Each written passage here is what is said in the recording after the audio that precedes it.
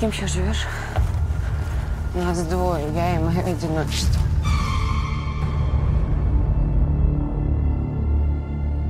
Если муж или любовник не могут прокормить семью,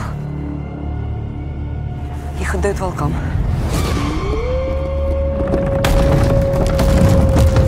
Он может все.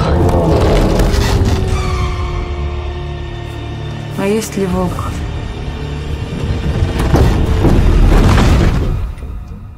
А если Бог?